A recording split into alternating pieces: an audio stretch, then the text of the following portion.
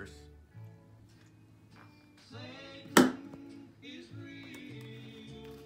So here is a fine, very heavy metal album.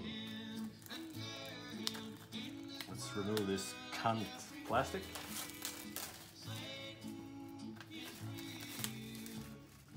And behold,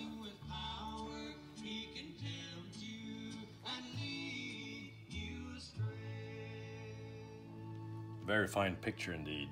Happens to be the bass player and singer's by all-time favorite band picks from Jesus Chrüsler Supercar. It's really beautiful.